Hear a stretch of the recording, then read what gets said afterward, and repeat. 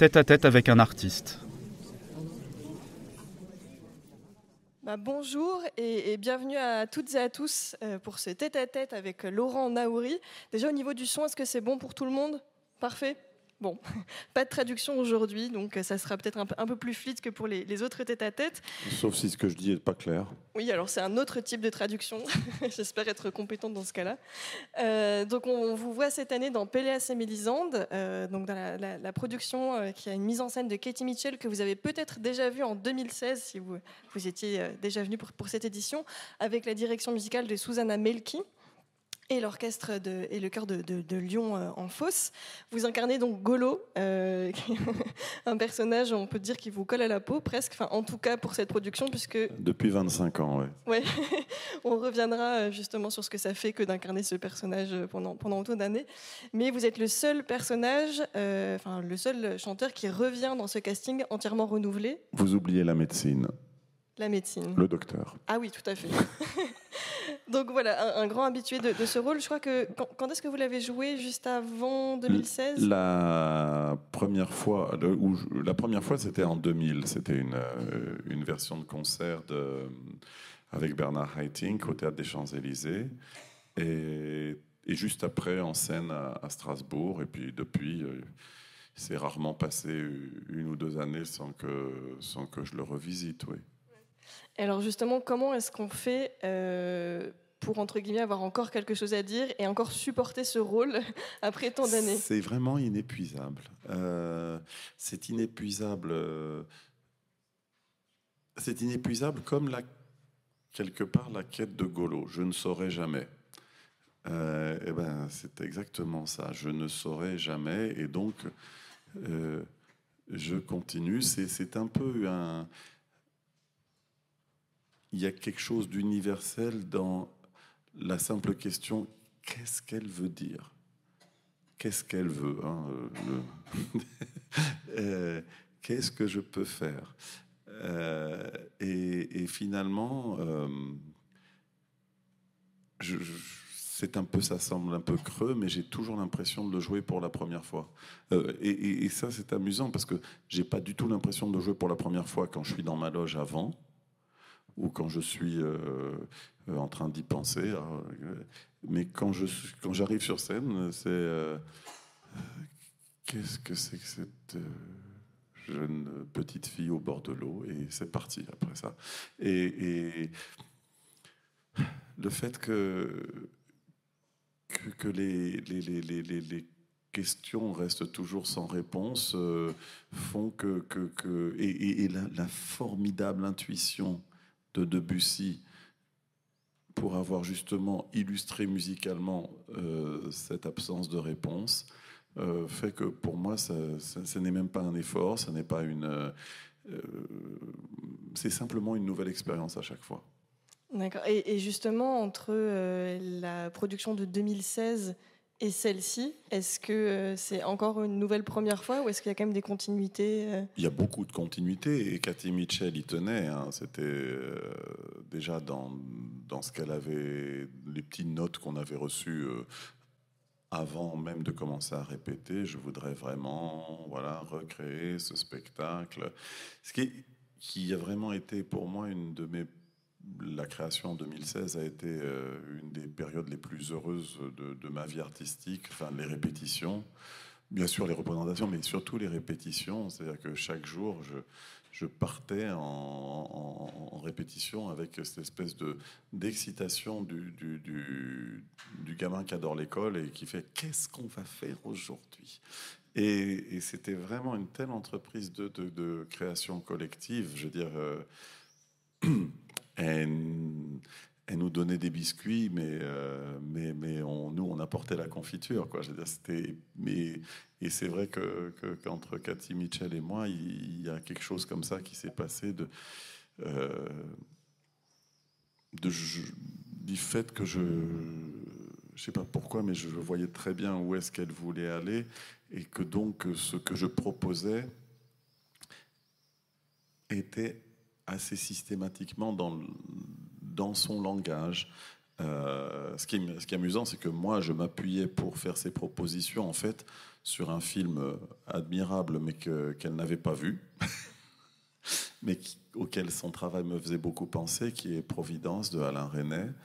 Et je trouve que dans ce film, l'univers du rêve, des associations, de, de, enfin, est certainement mieux traité que dans n'importe où ailleurs. Et donc, tout, toutes mes idées euh, me venaient de là.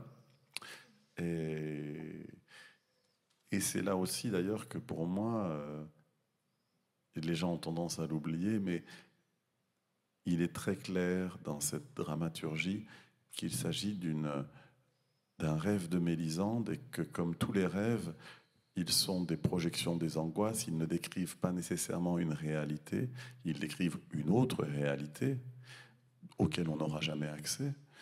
Et, donc, ça m'amuse toujours de voir les gens euh, se dire Oh là, mais ce Golo, il est terrible, il est horrible. Il est horrible à l'intérieur de ce rêve.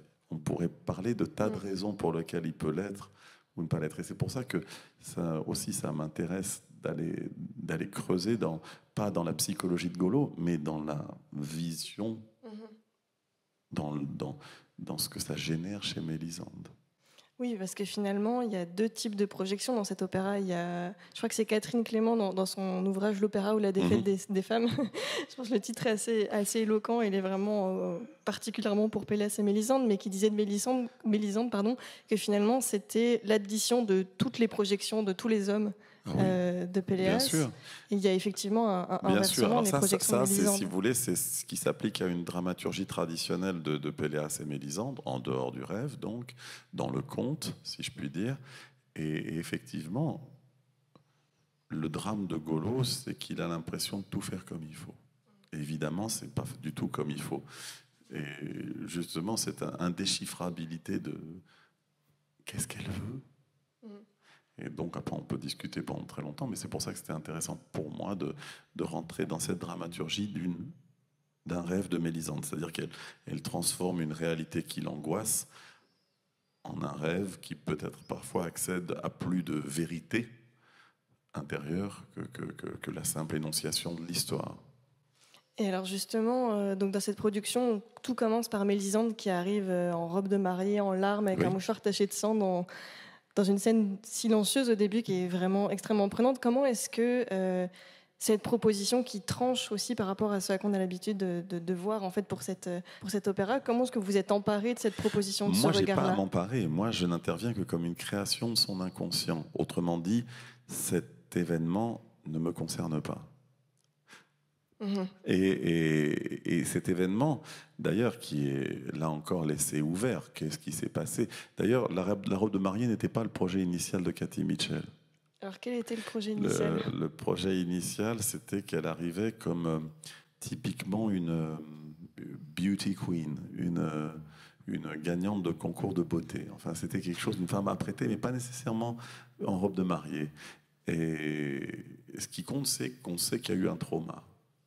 Et mm. dans cette version qui est un peu changée et un peu augmentée euh, de 2024, euh, on sait qu'elle est enceinte.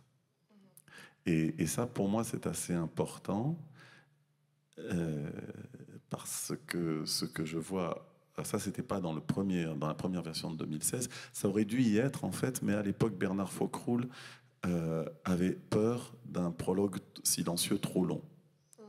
Et ah non, mais c'est l'opéra, vous pouvez pas faire ça, Enfin bon, ça, je vais pas rentrer là-dedans. Je trouve ça absolument idiot, mais bon, de se préoccuper de ça. Mais, euh, mais donc, euh, on a, Cathy Mitchell avait donc réduit le, prologue silencieux.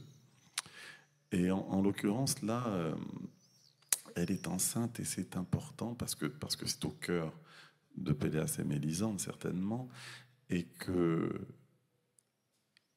si je peux regarder d'un œil extérieur sans être golo, elle se retrouve avec cette, grossesse dans, dans une réalité auquel elle ne peut échapper. Et la réalité, elle est liée au corps de celui qui l'a rendue enceinte. C'est Golo dans le rêve, on ne sait pas qui c'est ailleurs.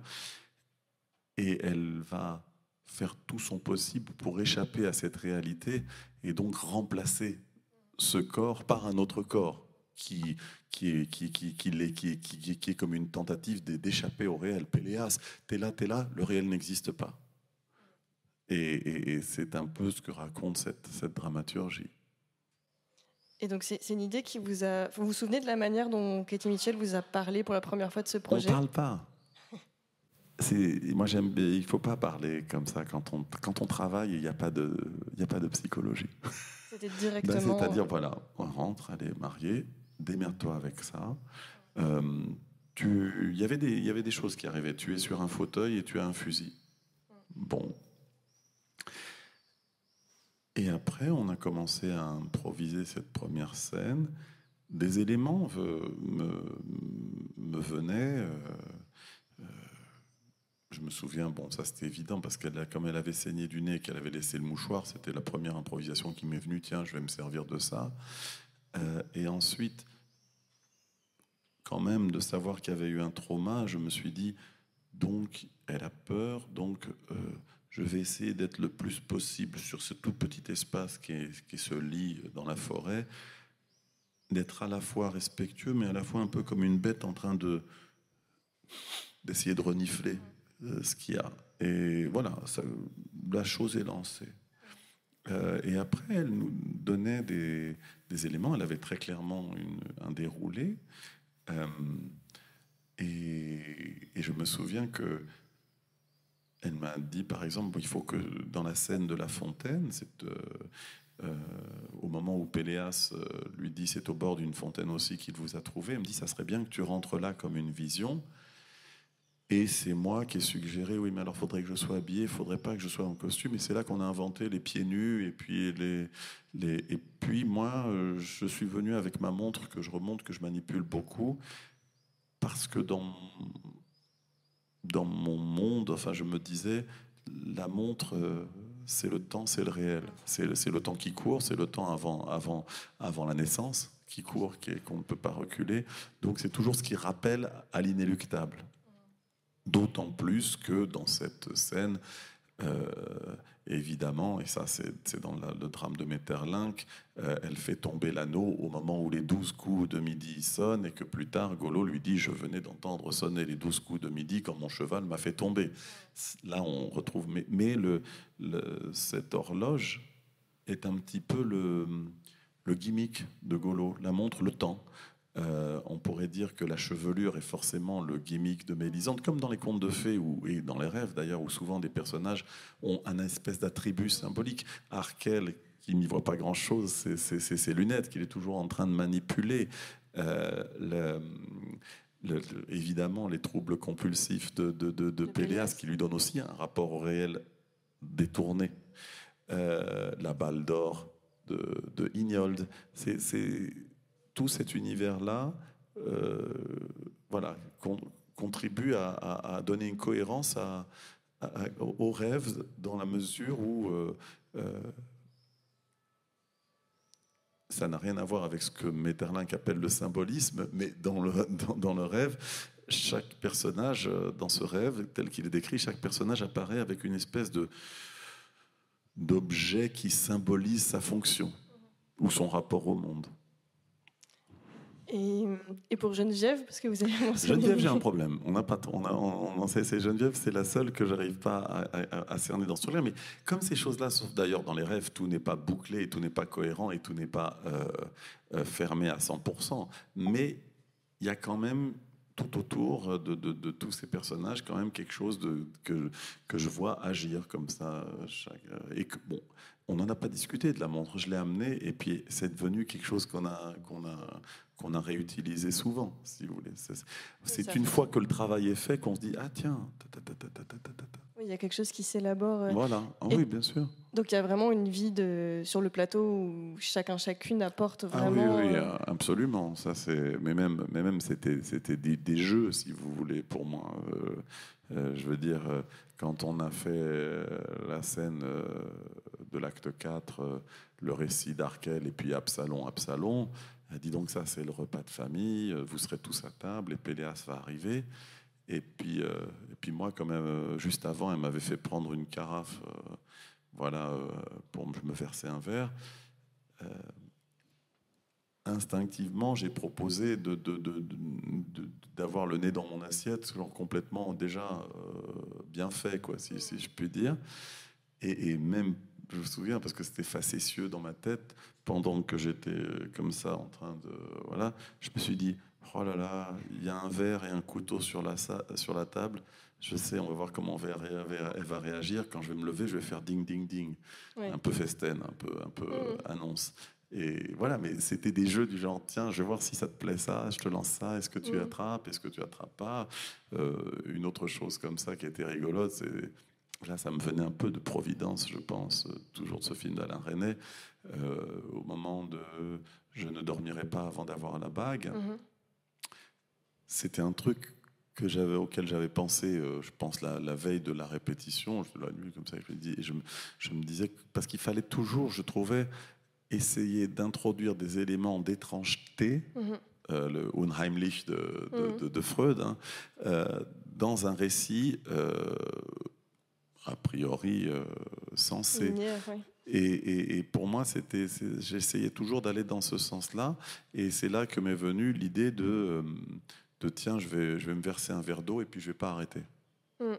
Euh, sauf que la première fois que je l'ai fait, c'était une surprise et qu'on n'avait pas prévu que l'eau ça mouille et que tout le, tout le, tout le lit s'est retrouvé mouillé et qu'il ah devait servir après. Donc après, il s'est dit ah non, mais il va falloir faire une, couverture, une couverture euh, avec une espèce d'alaise en dessous, ce qui fait qu'on puisse la changer et qu'on puisse. Euh, mais sur le moment, c'était comme ça, c'était comme un jeu. Tiens, qu'est-ce que tu.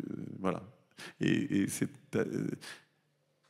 J'aime bien dans le processus de répétition quand ces choses se passent comme ça, comme des suggestions, plutôt que d'en discuter avant, parce que mm. discuter avant, euh, on, tue un peu la perception immédiate de la chose. Et euh, donc c'était, mais, mais, encore faut-il se retrouver dans un dans un contexte de, de, création et de répétition suffisamment fluide, intelligent, euh, sensible pour qu'on se sente en position de pouvoir faire ça. Il y a plein de moments ou plein d'autres productions où je me suis pas du tout senti euh, autorisé à ou, stimulé à, faire ce genre de proposition. Et alors, on a l'impression que toutes les suggestions que vous aviez euh, tombaient très justes. Enfin, en tout cas, je les ai retrouvées sur scène. J'ai oublié celles qui étaient. Il y en a eu certainement qui étaient, qui étaient à côté. Hein. C'est fatal. Mais je crois dire, j'ai un peu oublié sur le parce que ça mm. fait quand même 8 ans. Et, comme ça fait euh, près, de, près, de 15 fois que, que je le refais, donc c'est, mm. voilà, c'est, ça, ça a un peu effacé les, les échecs, mais forcément qu'il y a des échecs évidemment. Enfin, des échecs, c'est pas des échecs d'ailleurs, c'est, juste des choses. Je dis, oui, c'est rigolo, mais non. Voilà.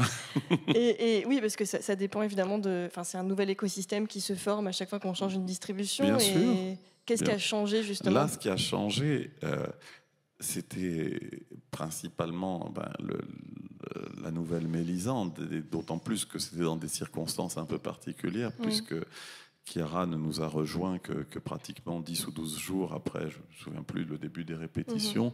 suite à l'annulation de Julia Bullock. Ça aurait de toute façon été différent mhm. avec Julia Bullock, mais on était... Euh, on avait un spectacle à faire advenir et, et, Chiara avait chanté la dernière fois le rôle il y a 4 ans, donc elle avait un double travail. C'est-à-dire que non seulement. Euh, alors, bon, déjà, c'est quand même. même si elle parle pas beaucoup, elle est beaucoup là, donc elle est beaucoup sollicitée dans la mise en scène. Mais alors, dans cette mise en scène, euh, je veux dire, elle rentre au début, et à la fin, elle sort. Mhm. Et entre-temps, elle est tout le temps là. Et concrètement, pendant les répétitions, ça veut dire qu'il fallait en plus qu'elle trouve un moment pour se remettre le mhm. rôle en, mémoire mhm. musicalement. C'est-à-dire qu'il y avait, il y avait une double charge de travail et, quelque chose qui était euh, vraiment euh, pas facile du tout. Mhm. Et donc, on, essayait d'alléger le plus possible, de, de, faire en sorte de. je crois qu'on a tous été très solidaires, pour, bien conscients de la difficulté euh, double. De la prise de rôle. Euh, face à laquelle elle se trouvait. Et puis ensuite, euh, troisième difficulté pour elle, et, vraiment, je sais, là encore, elle s'en sort admirablement, mais c'est difficile de, de, de, de, mettre les chaussures d'une production qui a été créée pour mhm. quelqu'un d'autre. C'est pas. Voilà, c'est toujours. Euh, pour l'interprète, euh, déjà quand il a eu le temps de se préparer à l'idée qu'il allait reprendre une production de quelqu'un qu'il avait déjà fait avant lui et qu'il avait fait pour lequel ça avait été conçu, c'est déjà quelque chose auquel il faut se préparer, à dire qu'est-ce que je vais offrir? Mais là, quand vous n'avez pas eu le temps de vous préparer, qu'on vous dit tiens, tu mets les chaussures de Barbara Hannigan, euh, c'est pas du tout une évidence. C'est, c'est, et, et, c'est pas une évidence pour elle parce que et ça serait pas pour moi si j'avais la même chose à faire. Et ça concerne tout le monde, surtout quand on, met, quand on se met dans les chaussures de quelqu'un de, très très talentueux, et ça nous arrive tout le temps. Euh, et donc, il fallait qu'elle trouve son langage, il fallait aussi que, que, que Katie Mitchell trouve euh, comment elle voyait. Euh, et ça s'est fait très bien, mais ça, ne se fait pas. c'est du travail, c'est là où, justement euh, on adapte et on change par rapport à ce que la personne apporte, euh, qui est simplement euh, différent en, qualité. Et donc, il faut arriver à, trouver ce qui peut, voilà, ce qui peut mieux convenir. Et, et j'ai pas un exemple concret, c'est que je sais pas, Cathy euh, avait du mal à voir la scène avec Ignold qu'on fait à la fin de l'acte 3, euh, à la fin, juste avant l'entracte.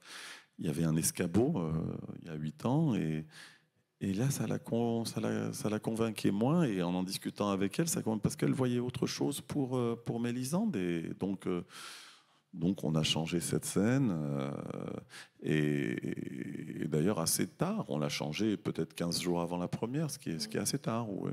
12 jours, oui. Et vous arrivez, enfin j'imagine qu'on on le sent euh, avant forcément peut-être de, l'intellectualiser, mais comment est-ce que vous, vous avez justement senti euh, dans votre incarnation de Golo tout ce que Chiara changeait dans son interprétation de Mélisande Ce qui a beaucoup changé, c'est pas tellement... Enfin, forcément, les choses changent parce que vous n'êtes pas face à la même personne, mais fondamentalement, ça ne change pas énormément le travail. Il y a simplement euh, une façon euh, de sourire à certains endroits qui est différente, une façon de regarder à certains endroits qui est différente, de façon voilà qui, qui, vous qui injecte en vous des émotions différentes.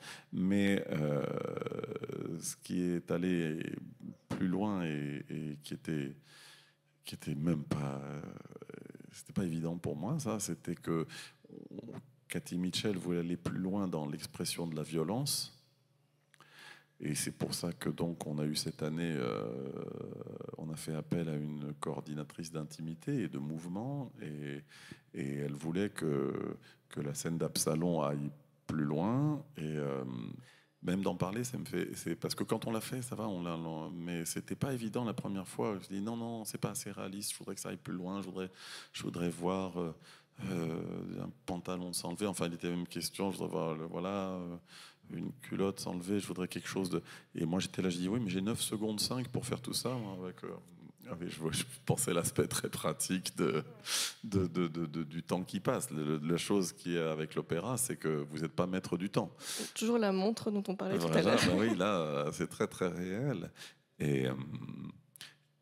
Et donc, il fallait tout décomposer et, et, et donc dire donc à partir de maintenant, par exemple, c'est très concret, c'est-à-dire que quand je commence la deuxième partie, j'ai déjà prêt déboutonné et je veux juste fermer mon pantalon avec la fermeture éclair parce que sinon je n'ai pas le temps simplement parce qu'on a essayé, c'est vraiment tout est technique comme ça.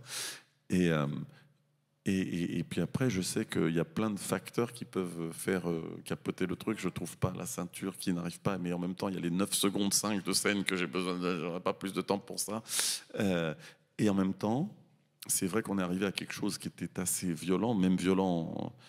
Enfin, au début, quand on fait, quand on le faisait en répétition euh, une fois bien, on ne voulait pas ni elle ni moi le, refaire parce que c'était euh, c'était chargé, quoi. Euh, c'est très sain, enfin tout, tout se passe bien, mais et maintenant je pense qu'on aurait plus de facilité peut-être à le reproduire, mais les premières fois qu'on est allé jusqu'au bout de ça on, allait très bien, mais, euh, mais on disait bon, euh, ça va, on, fera demain ou un autre jour, et, tout le monde le comprenait bien. Euh, c'était voilà, c'était à la fois physiquement, parce qu'il faut quand même bon sur le dos, faut retourner, faut machin, faut prendre. Et puis la charge émotionnelle qui montait. Enfin, c'est vrai que je me souviens que les premières fois, je ne marchais pas très droit après. Euh, parce que. Et puis c'est toujours. Alors on va le faire, mais juste 50% des émotions. Je ne sais pas ce que ça veut dire, 50% des émotions. Je peux être très précis dans ce que je fais et savoir exactement ce que je fais, mais il y a une partie qui, qui, qui émotionnellement est quand même très très chargée et qui nous, nous, prenait tous les deux. Et heureusement qu'on avait beaucoup bien, euh, énormément confiance l'un dans l'autre, mais, euh, mais c'était, c'était quelque chose que, bon, qui, qui m'a intéressé à faire euh, et qui, je pense, a une certaine portée. Euh, et ça, c'était surtout la grosse différence, je dirais, mhm. vraiment entre 2016 et 2024. Parce qu'il n'y avait pas de coordinatrice d'intimité en 2016. Non, on a, tout inventé comme ça en débrouillant. Mais on était moins, voilà. Bon. Il y a une violence qui est différente. Et c'était la première fois que vous travailliez avec euh, ce, genre de fonction Moi, c'est la première fois. J'ai fait des combats avec des maîtres de combat, mais j'ai jamais fait. Euh, voilà. Et puis, bon, je vais vous dire un truc. c'est vrai que les, grosses scènes de câlins, c'est pas dans ma catégorie vocale, donc je suis, mhm. je suis rarement concerné. Et, donc, je, rebondis sur euh, les, 50% d'investissement euh, émotionnel de, Katie Mitchell. Je crois qu'elle est assez connue pour sa direction d'acteur très précise. Très précise. Et pour les, espèces de cartes psychologiques qu'elle fait de chacun des personnages pour chaque chaîne. Non, oui, oui, mais, mais, moi, ce qui m'intéresse, c'est les questions qu'elle laisse ouvertes. C'est-à-dire que euh, elle va pas dire fais ça ou fais ci, ça peut arriver. Mais moi, ce qui m'intéresse le plus, c'est euh, à ce moment-là, euh, pourquoi tu lui dis ça? Mais j'ai pas à donner de réponse. Il faut que, euh, c'est pas moi, j'ai pas à lui donner une réponse. il faut que elle lise une réponse dans ce que je vais jouer la prochaine mhm. fois. il faut qu'elle lise une clarté d'intention. elle n'a pas besoin d'une réponse, mais quand elle pose une question là-dessus, c'est que je ne suis pas assez précis sur ce que j'envoie ou ce que je projette. Et elle a vraiment un, euh, comme dirait Golo, elle voit tout, elle voit tout. Mais, et c'est très marrant parce qu'il m'est arrivé des fois de recevoir des notes euh, après les répétitions, puisqu'elle nous envoie des notes par email. Hein, c'est euh, on imagine et, pavés. Et, et, parfois, elle me pose une question et je me souviens avoir eu ou un souci musical ou un souci truc, etc., et avoir pensé à peu près chanter correctement, mais sur une fraction de seconde. Je dis, elle a vu le moment d'incertitude que j'ai eu. Et qui vraiment, euh, je pensais qu'il n'y avait que moi qui l'avais vu. Quoi. Voilà. donc tout est passé au crible. Oui, vraiment, c'est très, très, très impressionnant. Ça. Et c'est pas terrifiant, justement? Non, non, au contraire. Moi, je, je crois beaucoup. Euh, on a le même rapport avec le. J'aime beaucoup travailler avec le, les, les, les, chefs de chant qui sont sur la production, donc David Zobel et, Mathieu Pordoy. Et Mathieu euh, Pordoy, euh, qui est donc un pianiste, euh, accompagnateur, voilà, musicien all-round, comme on dirait, quand il fait des notes musicales, il est extrêmement précis, du genre, là, je trouve que ton fait était un petit peu trop ouvert et puis on n'entendait pas le truc. Mais c'est que voilà, ça dure, ça dure une demi seconde quoi, le temps de la note. Et il y en a plein comme ça. Et il me dit, j'espère que je t'embête pas avec mes entortillements, euh, tout ça, et je pinaille et machin. Et en fait, euh, moi je crois que quand on travaille sur les détails, on ne travaille pas que sur les détails. C'est-à-dire qu'il y a une espèce de, de phénomène inductif euh, qui fait que vous vous focalisez sur le particulier pour améliorer le général. Mhm. Et, c'est de la même façon, euh, une note de Cathy Mitchell sur un, un, petit détail, sans que je puisse l'expliquer vraiment, mais a potentiellement le, le, le, le pouvoir de, de, de, de, rayonner sur beaucoup d'autres choses. Mhm. Voilà. Et alors évidemment, euh, ce qui, ce qui est assez, euh, enfin moi je trouve proprement hallucinant, c'est le français de Péléas, de Hugh Montagu Randall, qui est vraiment, euh, enfin pour celles et ceux qui, qui est devenu, alors il ne parle pas un mot de français, c'est ça? Il en parle dehors un peu, mais c'est tellement, on est tellement habitué à ce qu'il chante aussi bien français. Quand on est au café, on commence à faire, on parle en français, machin, etc. Et puis au bout d'un moment, je me dis ah non mais il comprend pas en fait. Il faut, passer à l'anglais, mais c'est ça, je j'ai jamais vu. Oui, c'est délirant. C'est-à-dire qu'on n'a absolument pas besoin des surtitres quand il chante. Et, puis moi, ça me touche beaucoup parce que j'ai chanté et avec son papa et avec sa maman. Quand j'avais à peu près son âge. Donc, euh, c'est, c'est- Mm. Et puis plus tard, avec sa maman, j'ai encore chanté euh, au Métropolitain il n'y a pas si longtemps que ça. Mais euh, donc, c'est. Et avec son papa, je crois que c'était un de mes premiers contrats de chanteur professionnel. Quoi. C'était... Donc, moi, je trouve ça. Ça, c'est un, un truc sympathique d'arriver à cet âge-là. Euh, on, on voit les, le temps qui passe comme ça. On a dans le festival. Léa Desandré, moi je la Mm. connais depuis qu'elle a 10 ans, elle venait au concert de Nathalie, ma femme, et Mm. puis je la faisais rentrer en coulisses. euh, et puis là, on a fait m'aider, on avait nos deux loges l'une à côté de l'autre. Euh, Elsa Dreisig, euh, sa maman c'était Mazerline il y a 25 ans, et je la voyais qui avait 8 ans et qui s'emmerdait pendant les répétitions, qui jouait entre les fauteuils. Bon, ça, assez, c'est assez agréable à voir. Et c'était la première fois que vous chantez avec euh, Hugh, du coup, dans Non. Pélias L'année ou- dernière, on avait fait Roméo et Juliette, euh, mais Ah on oui. n'avait pas beaucoup d'interactions de toute Oui. façon, mais c'était la production de Thomas Joly euh, Oui. à, à l'Opéra de Paris. Et je- bon, j'en avais entendu parler de toute façon.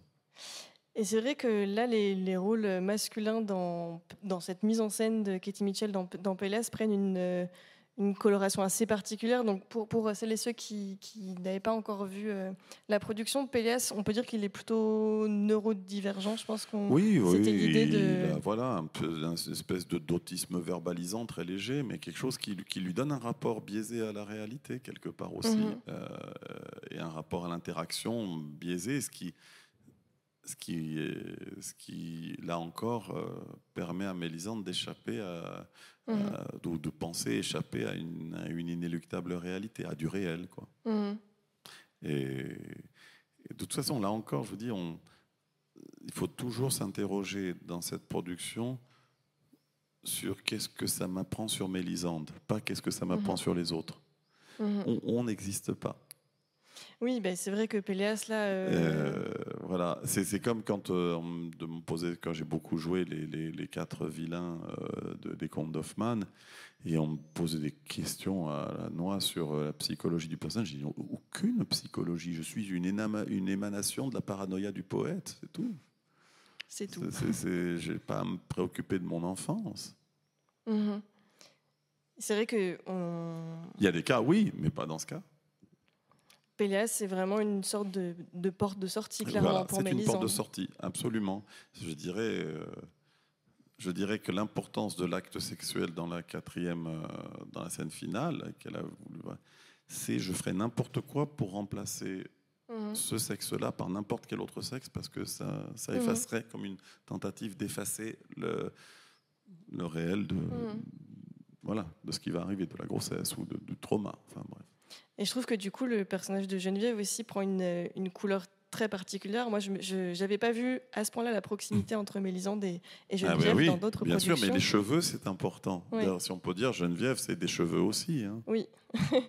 et aussi, finalement, euh, bon, alors après, là, on, part euh, plus loin, mais si, si Mélisande ne, ne meurt pas, euh, qu'est-ce qui l'empêche de devenir une Geneviève qui semble sûr. avoir connu exactement Ben, la c'est même de la vie que reproduction, Mélisande? oui. Ouais. c'est de la reproduction. Mais là encore, vous pourriez vous interroger là-dessus sur euh, l'histoire en général d'un- d'une mise en scène de, de Péléas et Mélisande, d'une dramaturgie, euh, je dirais, plus classique. Je- Pour moi, là, je suis plus intéressé par qu'est-ce qui se passe dans la tête de Mhm. Mélisande. Qu'est-ce que ça nous raconte de ça? Mhm. Et alors justement, cette, cette production qui laisse euh, alors toujours beaucoup de questions. De toute façon, je, je ne sais pas s'il est possible d'interpréter cette Heureusement œuvre en répondant définitivement à toutes les questions qu'elle Heureusement pose. que non. Mais cette, euh, cette, cette production euh, a connu un, très fort succès en 2016. C'est pour ça qu'on la, reprend cette année. Comment est-ce que vous, vous l'expliquez justement? J'ai un grand regret, c'est que je verrai jamais vraiment cette production. Et, et, et je crois qu'il y a plusieurs choses, parce que même si on n'est pas obligé de saisir tout ce que dont je suis en train de parler, mais nous, ça nous nourrit évidemment. Euh, mais je fais une supposition parce que je suis trop près, je suis sur le décor. Je, je- moi, j'avais l'impression d'être dans un, un univers un peu à, à- à la Cocteau, Mhm. euh, où le, le- réel glisse très facilement dans le pas réel, où le double apparaît. Mais traité avec quelque chose de l'ordre du quotidien, comme on, comme on pourrait avoir euh, le messager dans le testament d'Orphée, enfin, ou des, des choses Mhm. comme ça. Et et- et- et- et- et il y a aussi cette espèce de magie quand même euh, de, de- de- la fluidité de ces pièces, de ces, de, de ces espaces qu'on qu'on voit changer pratiquement à vue. euh, et ça, c'est vraiment comme dans, comme dans l'univers. Moi, j'ai le souvenir de rêves où je, c'est comme si je vois une pièce là, euh, mon regard va sur cette pièce-là, puis il tourne là, et puis c'est plus la même pièce que j'avais quand je, quand, je suis revenu. Ce qui est très bien d'ailleurs euh, décrit dans, dans le film Providence, d'ailleurs, que de Alain René, dont, dont je vous parlais. Donc je pense euh, qu'il y a de toute façon une espèce de un tel profusion de, détails, de glissements du réel vers le, fantasmé et, certainement une beauté plastique aussi. Et puis je trouve les deux fois, on avait quand même une sacrée distribution. euh, je crois là, en plus, euh, sacré chef. Et puis, je sais pas pour lancer des fleurs, mais je pense que l'orchestre de Lyon est, est encore plus capable que, que le Philharmonia de, de- de- jouer cette partition. Donc, euh, pour moi, c'est encore meilleur. euh. Et euh, donc, voilà. je- mais c'est très difficile. J'aimerais bien un jour, peut-être un jour, je verrai cette production. Oui. je pourrais me faire une idée. Alors pe- peut-être pour rebondir sur, sur les décors euh, dont vous parliez, c'est vrai qu'on a, alors c'est toujours pas, pas évident de les décrire, des espèces de cubes qui se déplacent et qui contiennent à chaque fois des pièces différentes dans l'intérieur du château. ou-. Et c'est des structures énormes. Enfin, je- le, le- le décor, je ne sais pas combien de tonnes il pèse, mais c'est monté. Vous verriez ça. Il, y a- il y a- il y a- il y a- il faut 15. D'ailleurs, les, les- les techniciens saluent euh, à la à la fin. fin du ouais. spectacle parce qu'il faut, il en faut au moins. Je sais pas, 12 ou 15 pour bouger hein, les plus gros modules à la fois. Et puis, c'est pas le truc de les bouger, c'est qu'ils ont une telle inertie. C'est comment vous les ralentissez au moment où ils arrivent euh, en ait position, si je puis dire. Euh, c'est toute une. euh, c'est toute une. Mhm. Oui, une technique, une, une logistique, technique, une logistique, euh, et en plus la place est limitée sur le plateau. Mhm. Là, quand, je quand on l'a fait à Tokyo, c'était plus facile parce que le plateau était plus grand, un peu façon Bastille, donc ils n'avaient pas trop de problème de savoir où mettre les choses.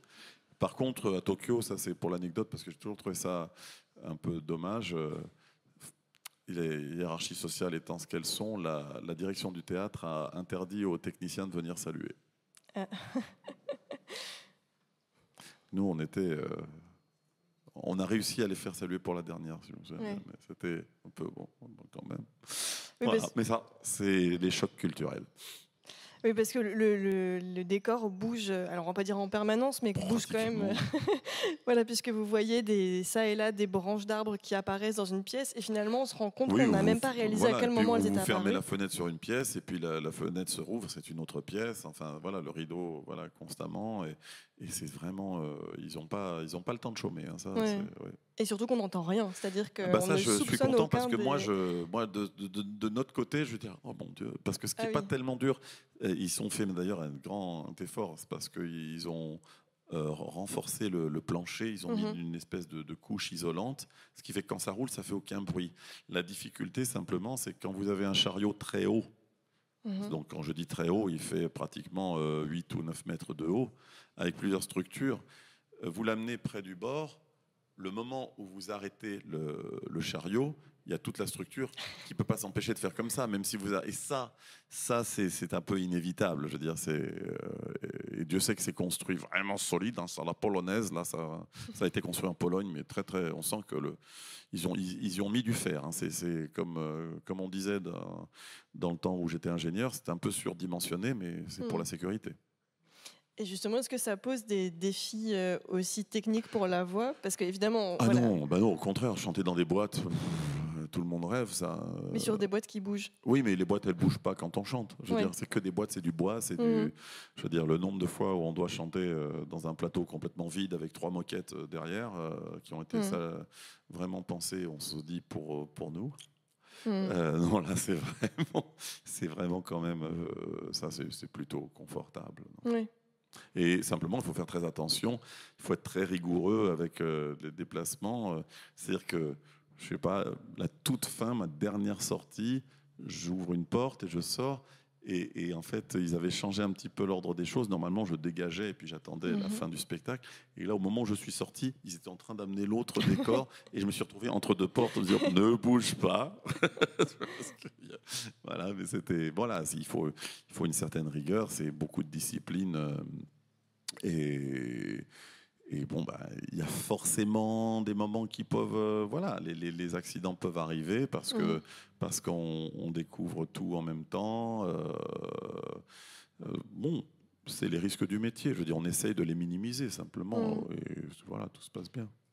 Et alors, on a beaucoup parlé de la mise en scène, mais au niveau de la direction musicale, le fait de d'être dirigé par Susanna Moi, Susanna, je suis fan depuis longtemps. hein, je, je, trouve vraiment que c'est un- une personne exquise déjà. C'est, c'est- ça ne gâche pas le plaisir.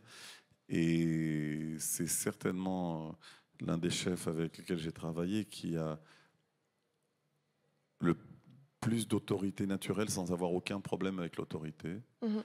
Euh, et bon, le fait qu'elle soit parfaitement francophone aussi, euh, pour moi, ajoute toujours. euh, j'ai toujours préféré euh, chanter cet opéra avec des chefs euh, francophones, pas qui comprennent ce qu'ils disent, Mhm. vraiment francophones.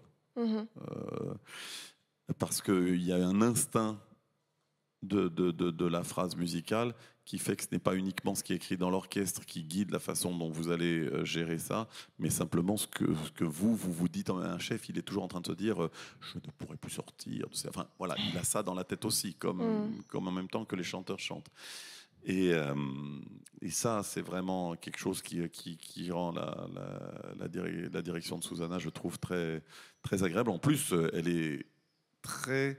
euh, elle, elle varie d'une Mhm. représentation à l'autre et l'exploit, c'est d'arriver à, à varier à chercher euh, sans nous déstabiliser. Et Mhm. moi, j'adore ça. Personnellement, ça me tient sur, les, sur mes pointes de pied, et, mais d'une façon pas sadique de tortionnaire, tu vois ce que je vais te faire là, mais plutôt de. Et si on faisait ça? C'est des micro-nuances, bien sûr. En, en termes de nuances, en termes de tempo. De tempo, de- et genre, essentiellement, oui. En termes, on ne peut pas régler les nuances euh, Mhm. au dernier moment. Ça, mais, mais, les, mais les variations de tempo, oui, ça, on peut. Mhm. Et moi, je l'avais entendu dire que cette partition, pour elle, c'était quelque chose qui relevait du haïku ou de l'aquarelle, et que son rôle était de ne surtout pas en rajouter. Non, non, mais e- effectivement, euh, on a beaucoup, euh, on a, on pourrait dire ça de tous les chefs, hein, euh, mais particulièrement avec elle, euh, travailler près de, en, ce qui me concerne, parce que c'est vrai que bon, on dirait, j'avais, j'avais quelques 150 représentations dans, les pattes, donc c'est vrai que c'est pas nouveau, mais, mais euh, notamment, elle m'a certainement en poussé à faire plus attention sur, euh, sur la durée de, de- de chaque note. Euh, Mhm. Est-ce que cette phrase se termine par une blanche? Est-ce qu'elle se termine par une noire? Est-ce que cette noire va jusqu'à le, le, le- la- la- le moment où l'autre chanteur commence Mhm. à... Voilà, il y a eu des choses comme ça que, que, que j'ai beaucoup aimé, qui, qui m'ont donné de nouvelles directions, de nouvelles façons de... euh, Là encore, hein, on parle de, de micro-nuances, mais euh, à partir d'un certain moment, c'est c'est là où ça se joue. Oui. Et vous voyez, une- évidemment, j'imagine une différence notable avec la direction musicale de, de 2016, celle des A. Ah, mais de plein, la- euh, oui, bien sûr. Ouais. C'est- ça, la- le Péléas et Mélisande, ça, on peut faire plein de Péléas. Mhm. J'ai j'ai fait, mais de tout.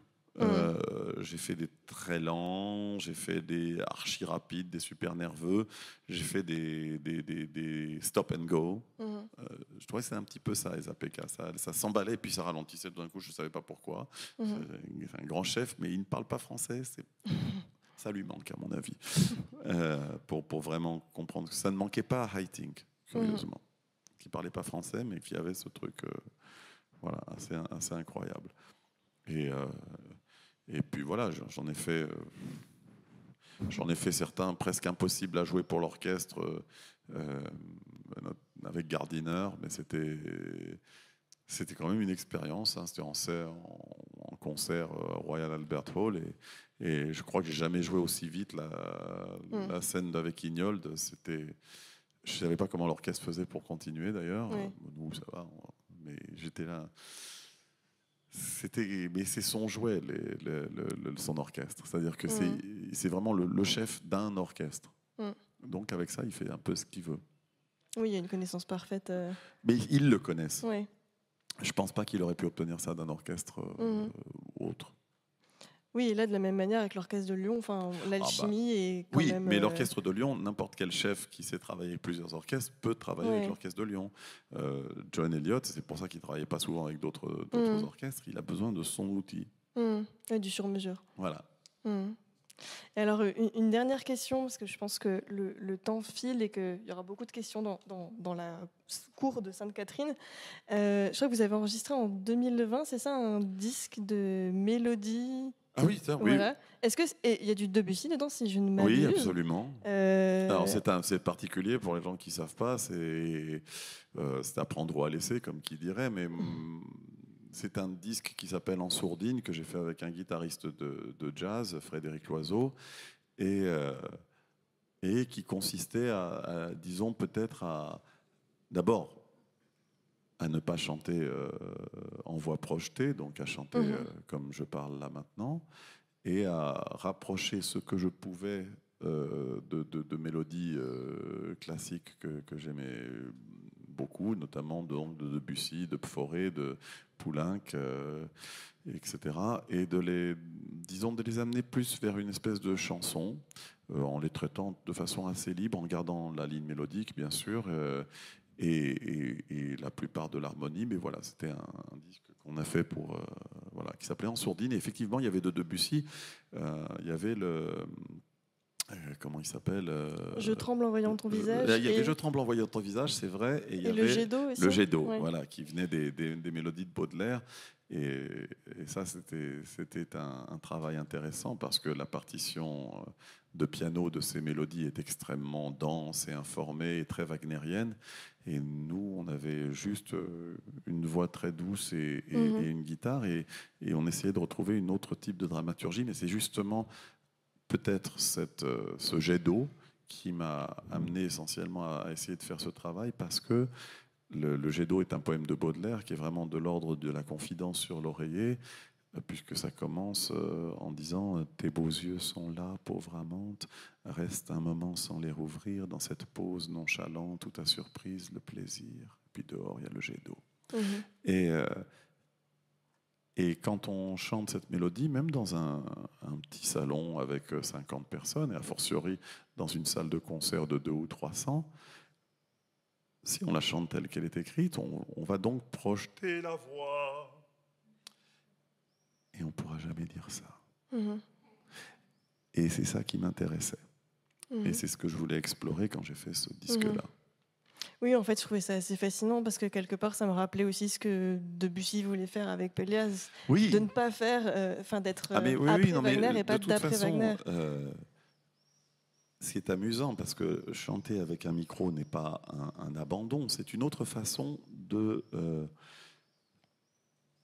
c'est une autre façon de porter le message. Si j'ai pas de micro, et on n'en avait pas jusqu'en 1930-35, Mhm. On est obligé de créer une certaine résonance pour que tout le monde puisse nous entendre, même pas fort. Et à un moment, le micro est arrivé et ils se sont dit, tiens, l'amplificateur est ailleurs, est-ce que je peux me permettre de ne plus amplifier ma voix pour arriver à dire autre chose Mhm.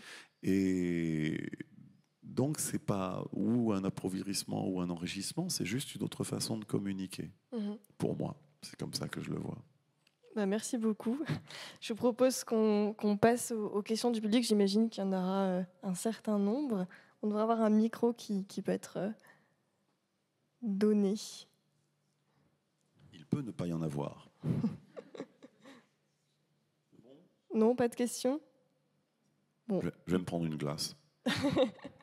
Bah, merci beaucoup Laurent Naouri, Euh, vraiment un immense merci. On vous retrouve euh, donc dans Péléas pour les dernières représentations du festival. Le tête-à-tête de demain, ce sera avec Corinne Winters. Et voilà, on vous attend euh, aussi nombreux pour explorer cette fois-ci les deux Iphigénies de Gluck. Merci à toutes et à tous.